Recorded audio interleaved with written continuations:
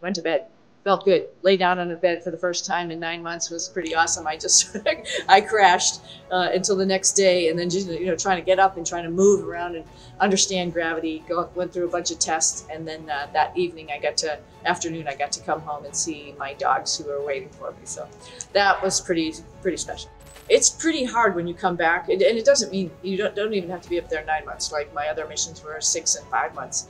And you do feel pretty uh, nauseous when you first get back. It's just that inner ear neurovestibular feeling for the first like 24 to 48 hours and I knew, having gone up twice before, that it was just a matter of time. So I was like, just push through it. you got this. I mean, just make yourself get up, make yourself go take a shower, and just push over those things, and make yourself walk down, a, you know, on a line to just work on all of those little small agility muscles. I, our trainers are doing that with us. Yeah, I'm really excited about it because you know we all have different opinions and perspectives, right? So we had a very unique perspective of being in the spacecraft. Nobody else had that perspective.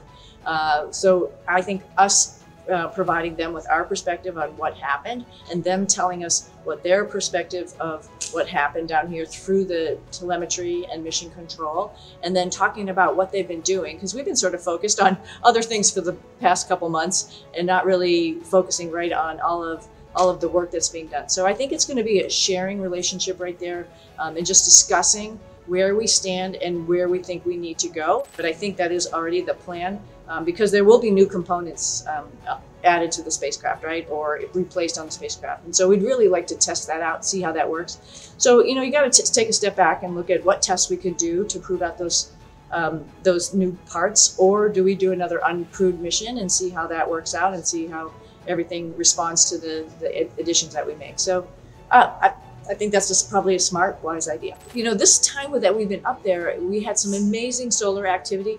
So the aurora was just incredible. There were times when you'd go to the window and we'd be flying right through the middle of the green aurora, and then you'd come to the edge closer as sun was uh, the sun was coming up, and you could see the reds and you can see the purples of the aurora. I think that was pretty spectacular. We were really lucky to actually be up there to see all that. Um, so that just gives you like the the sense of like wonder of what is going on in our universe and, and how much more we have to explore and understand. I think the hardest part was just sort of not knowing and trying to relay that information to family and friends who are worried and waiting for us to come home and try to reassure them that hey you know there's again there's a lot of people this there's a army of people working on a plan and and going to be getting us home at the right time on the right spacecraft. So I think that was just the hardest thing to convince them. And I think one of the ways that I was successful is I started writing a journal and showing them or telling them all about what was going on. And then I started bringing them along with me. And then that sort of turned the tide for me.